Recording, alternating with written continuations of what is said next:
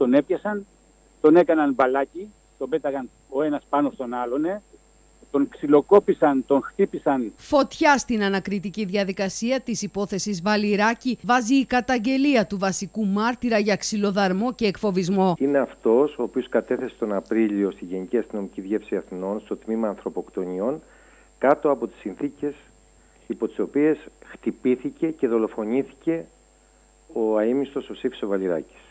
Όπως αναφέρει ο καταγγέλων στη μήνυση που υπέβαλε στην εισαγγελία Χαλκίδας, το βράδυ της 8ης Φεβρουαρίου δέχτηκε επίθεση από τέσσερις άγνωστους κουκουλοφόρους. Είναι επαγγελματίας αλλιέας, παλιός αλλιέας, τώρα είναι 72 χρονών και ο άνθρωπος ε, έχει παροπλισμένα τα δύο του αλλιευτικά. Η κατάσταση της υγείας του είναι λίγο δύσκολη, οπότε πηγαίνει και τα βλέπει, τα παρακολουθεί από τον αέρα, από την κατάσταση κτλ. Πηγαίνει και κάθε βράδυ σε 9.30 ώρα. Αυτό το ήξεραν οι... αυτοί οι οποίοι τον ε, παρακολουθούσαν, τον ε, χτύπησαν και τον τρομοκράτησαν εκείνη την ημέρα. Οι κουκουλοφόροι δράστες φέρονται να απείλησαν τον μάρτυρα που περιμένει την κλίση του από τον ανακριτή για να καταθέσει ο Σαΐδε τη μοιραία ημέρα του θανάτου του Σύφη Βαλιράκη λέγοντάς του να προσέξει καλά τι θα πει και πώς θα το πει. Η υπόθεση, όπως ξέρετε, βρίσκεται στο στάδιο της ανάκρισης. Δεν έχει κληθεί ακόμη να καταθέσει στον κύριο ανακριτή Χαλκίδας. Πλην όμως είναι ημέρες, νομίζω, που θα κληθεί. Αυτό το γνωρίζουν αυτοί οι οποίοι επιχείρησαν να του κόψουν τη λαλιά και τη μιλιά.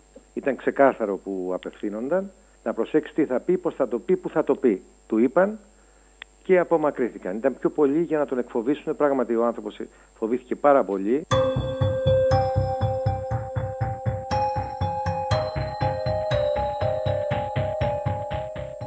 Καταγγελία αυτή κάνει ακόμα πιο επιτακτική την ανάγκη να προχωρήσει με ταχύτερους ρυθμούς η ανακριτική διαδικασία για την υπόθεση Βαλιράκη. Παρότι διεξάγεται κυρία ανάκριση, βέβαια εστιάζεται αυτή τη στιγμή στα τεχνικά στοιχεία της υπόθεσης, δηλαδή Google, ίχνη ηλεκτρονικών μέσων για να εξακριβωθεί η όλη ιστορία, δεν έχει κληθεί ο μάρτυρας αυτός ακόμα από τον ανακριτή.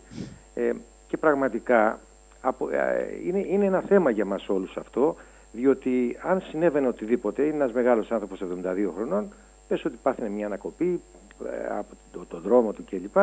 Ε, δεν θα είχε μπορέσει να καταθέσει τα πράγματα αυτά τα οποία τόσο καθαρά βέβαια τα έχει περιγράψει, αλλά αλλιώς είναι να καταθέσει ενώπιον του δικαστού, ενώπιον του ανακριτού που χειρίζεται την υπόθεση. Πάντως, μετά το πρώτο σοκ, ο αυτόπτης μάρτυρας φαίνεται αποφασισμένος να σταθεί απέναντι από τον ανακριτή, καταθέτοντας όσα ο ίδιος είδε να συμβαίνουν την 24η Ιανουαρίου του 2021 στην περιοχή της Ερέτριας και οδήγησαν στο θάνατο του Σύφη Βαλιράκη. Είναι ακόμα πιο αποφασισμένος και πιο χαλίβδινος να πει την αλήθεια.